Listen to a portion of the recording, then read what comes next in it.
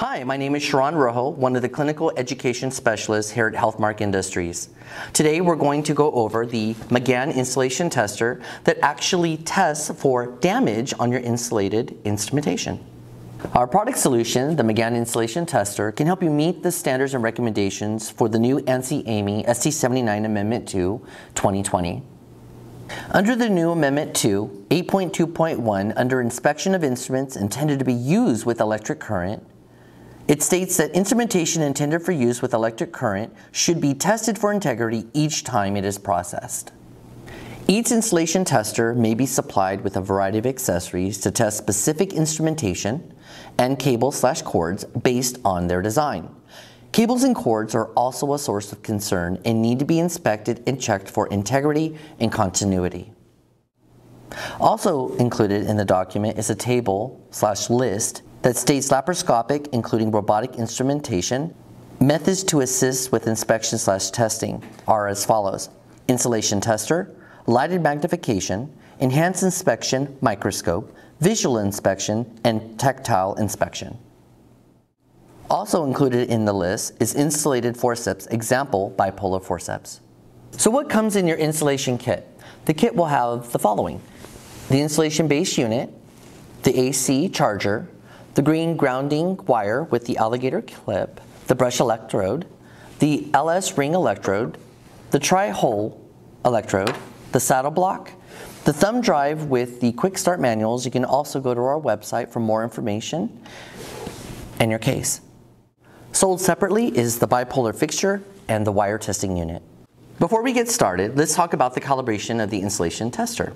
It is recommended at least once per year to make sure that the insulation tester is calibrated to make sure it's operating at the appropriate voltage. Typically, what you might encounter is that the voltage may not be consistent and may not stay for whatever voltage that you're selecting and a variety of other issues. Make sure you contact your local sales representative for prices and process. Let's discuss the anatomy of the unit. On the voltage display, the kV right here stands for kilovolts or voltage. This will appear in the display and when the unit is turned on, it will reflect the last voltage used like you see here. On the right, below the voltage setting, you will see the LED alarm light, which is visual and you can actually hear the alarm when a defect is detected. The unit has a rechargeable lithium polymer battery and has a battery LED indicator light that's on the left below the display stated here, battery. For our US model, if the battery light is green, the battery is fully charged and can operate around 10 hours or up to 1,000 instruments. It can take two to four hours to fully charge. If the battery light is red, the battery is flat and you will need to recharge the unit. If the battery light is blue, it is charging, and while the unit is charging, you can operate the unit for the US model. Also note that if the unit is turned off and you're charging, this light won't display. For our international model, you'll notice a CE in the front of the installation tester, and you will not be able to use the unit while it's being charged. There'll be a blue flashing light while it's charging until it's fully charged and it'll be solid blue. On the front bottom of the unit, you're going to see an off button, an on button, and then the up and down arrows to adjust the desired voltage dependent on the accessory being used. On the top of the unit is a red base unit port. This connects to the accessories, the saddle block, and then the red wire for the wire testing accessory. On the bottom is the green grounding port for the use of the green grounding wire and alligator clip. On the bottom as well, you'll see the power supply to connect the adapter to charge the unit. Now that we covered the anatomy of the insulation tester, let's walk you through how to use each one of the accessories. Before we get started and you start using the McGan insulation tester, it is recommended that you wear gloves. As I walk you through each one of these accessories, each one will have a specific voltage that's recommended um, through the IFU for the McGan insulation tester. If the voltage is too low, then you may not be able to detect the damage in that type of insulation on that instrument. If the voltage is too high, you could damage the insulation as well. And this is why it's so important to make sure that you're setting the voltage to exactly what the accessory that you're using. The first accessory that we're going to address is called the LS ring. The LS ring is used for laparoscopic instrumentation like you see here. There's two ways that you can actually set this up. The LS ring accessory can attach right to the base unit or ideally to the saddle block and place the LS ring unit to the saddle block for two different reasons. One, it's less cumbersome when you're testing and for safety reasons as well. A good laparoscopic instrument will not alarm between distal and proximal end of the insulated shaft.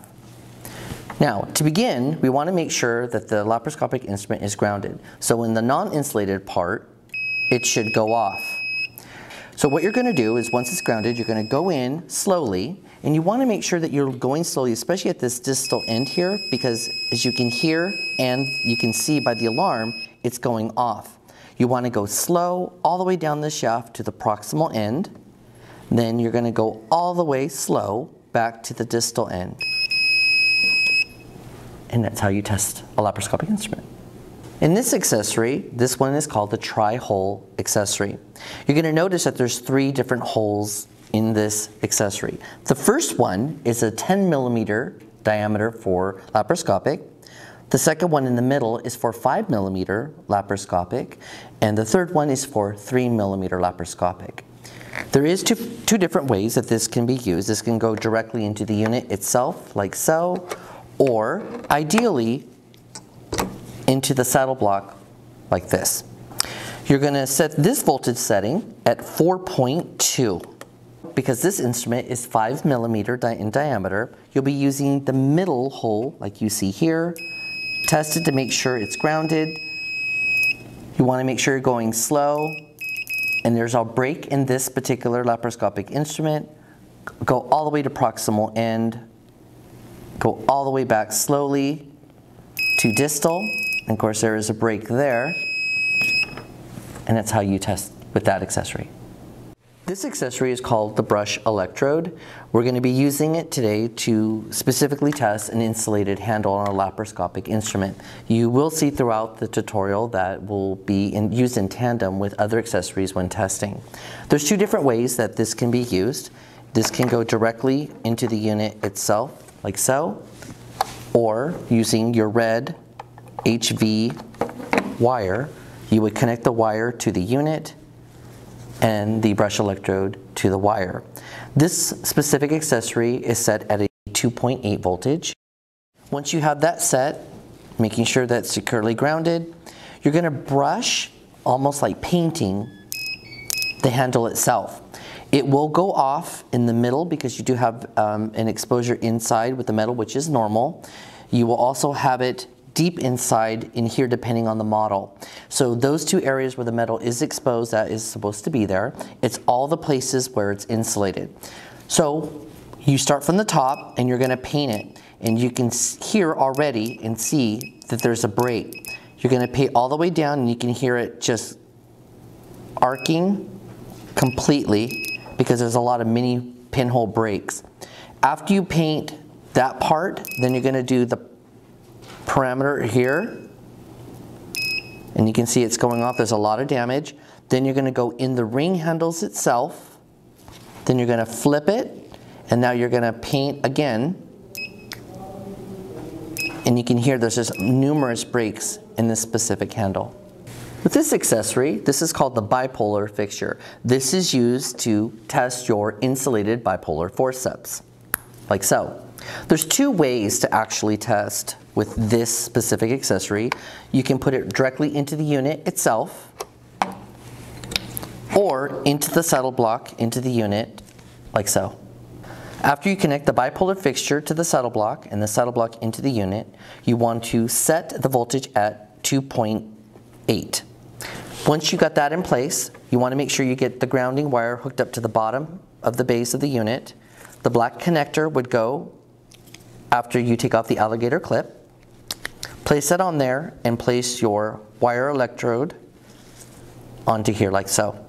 Then you're going to take your bipolar insulated forcep and you want to make sure that it's grounded. So you're going to go on the very top here and the technique is you're going to make an M. You start at the base, you go up the shaft and each shaft is called a tin.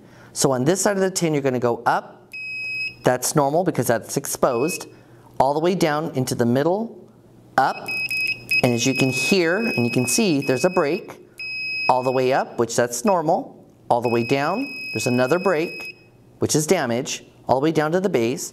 You're gonna go back, and then you're going to go front, and there's another break of damage there, all the way down.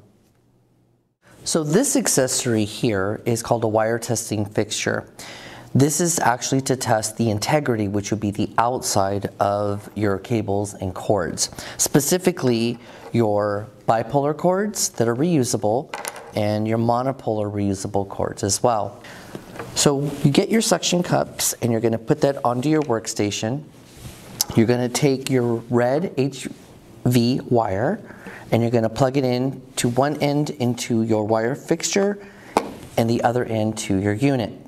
This specific setting voltage is 4.2, so we'll set our unit to 4.2. After you have everything hooked up for this wire testing unit, let's talk about a little bit about the unit itself. So you're gonna push down this blue handle and you're gonna see what I've exposed is three different diameters for cables and cords. The first one you're going to see is a little bit thinner, so that's for a single smaller uh, diameter monopolar cord. The middle will be for a bipolar cord, and this last one is for a thicker in diameter monopolar cord as well. One of the key things to remember is when you're grounding. So if you're using a bipolar cord to test, you want to make sure that you ground both of the leads, like so. If you're grounding the monopolar, it's as simple as that by just grounding that one piece. We're going to go ahead and test this bipolar cord. So we want to make sure it's grounded, lay that down, and how you do this is when you're going to pull this down, you're going to find the right area, which is right in the middle for the bipolar, and you want to make sure that you pull this through from distal to proximal, all the way through. I'm going to pull it through,